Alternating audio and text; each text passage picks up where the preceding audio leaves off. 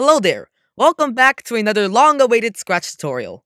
Today we'll be talking about minimalizing the movement vector, which is one of the most common mistakes made in top-down games, including some of mine. But what is the movement vector? This video we'll talk about what it is and how to code it.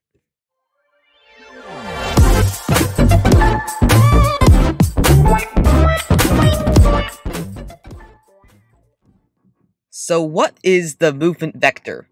Well, a vector is an object that has both a magnitude and a direction. But that just sounds too complex. In our context, it's simply just the change in x and change in y of a sprite.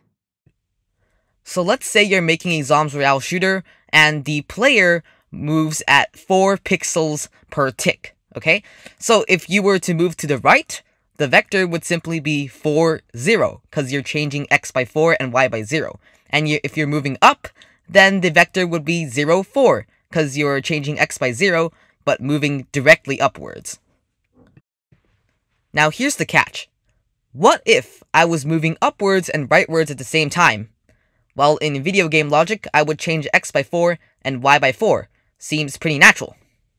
But then, I would be moving at a speed greater than 4, because the diagonal length throughout a square is longer than the side length. So how do we figure out how much x and y do we need to change by? Well, we know that the speed or distance of the vector is 4 pixels, and we also know that x equals to y because they are all the same side length of the same square. Therefore, this becomes a very simple geometry problem. We have a right-sided triangle with the hypotenuse being 4 and two identical sides. So now that we understand more of the problem, let's actually start um, doing some coding.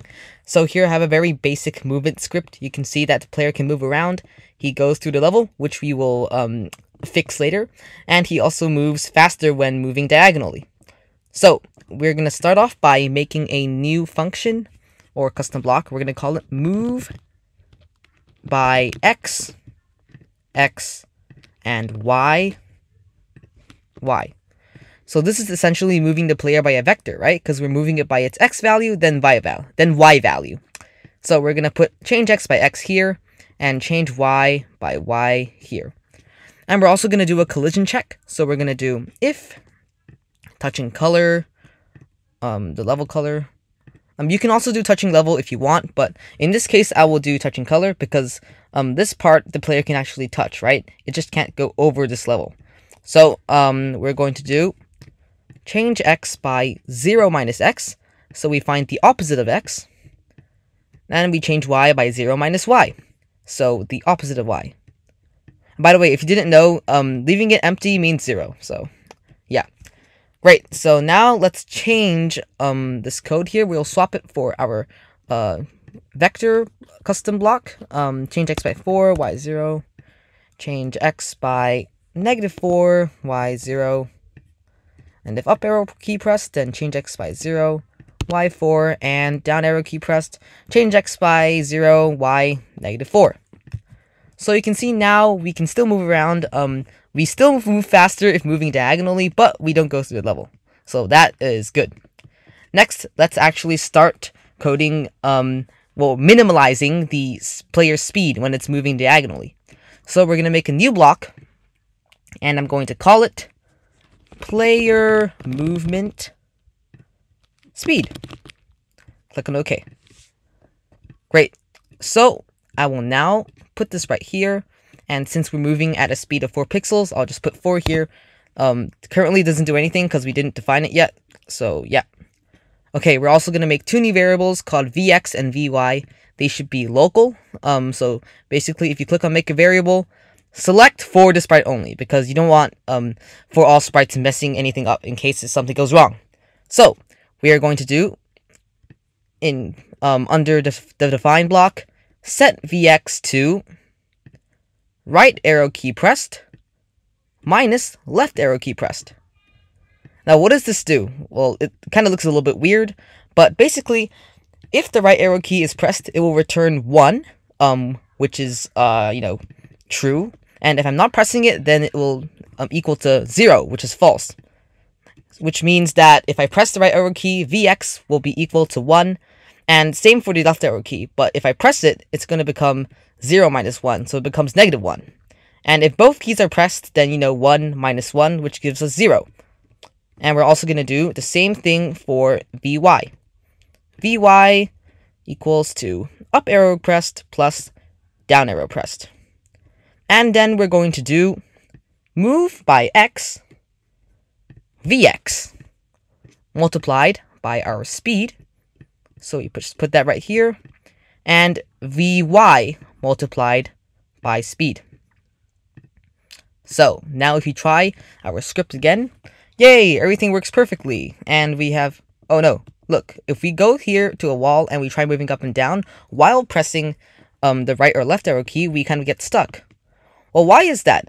It's because we're moving two vectors at the same time. We're moving the x vector and the y vector, y vector at the same time. So let's say if I was moving diagonally, I'm touching this thing. Oh, we're touching it. Let's go back and we stop, right? That's why we need to calculate the uh, vectors individually. So we have to calculate the x vector first, then we calculate the y vector. Well, not calculate, check, okay? Because this is like a collision check. So you see now, if we go here, we can actually move along the side smoothly, even when um, pressing the up arrow. Because, for example, if we were moving diagonally, it checks the um, x vector first. It's not touching it. Great. You're going to change it by that. And it, then it checks the up arrow. Oh, we're touching it, so we're not going to move up. Great, we fixed that issue. Finally, let's add in a if-else loop here, so we can detect if the player is moving uh, diagonally. We're going to we're going to do if absolute value of vx plus absolute value of vy. If you didn't know, absolute value basically just converts um, whatever number you have to positive. So if it's positive, it won't do anything. If it's negative, it'll convert it to like um, positive version of that negative number. We're going to we're going to do if abs of vx plus abs of vy bigger than one.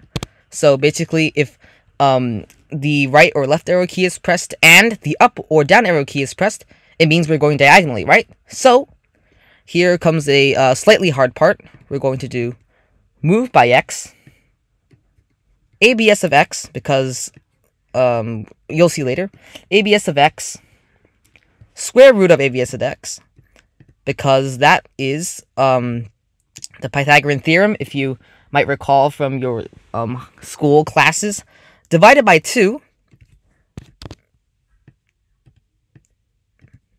and then multiplied by speed, and multiplied by Vx.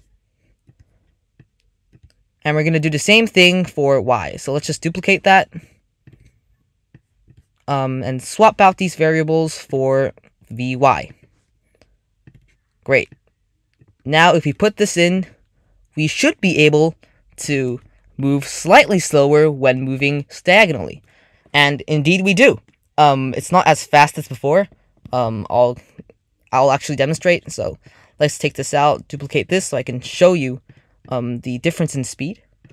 Uh, if we move diagonally right now, we are moving faster. But if we use this script, we actually move slightly slower um, than usual because that is the speed of our player, which is 4 pixels. So yeah, great! We actually solved the uh, problem. We minimalized the movement vector successfully. Um, that's it for this tutorial. Uh, I hope you enjoyed it. Um, it was a bit more complex than my other tutorials, so um, I hope you were able to follow along. Like, subscribe, and stay tuned for another tutorial next week, hopefully.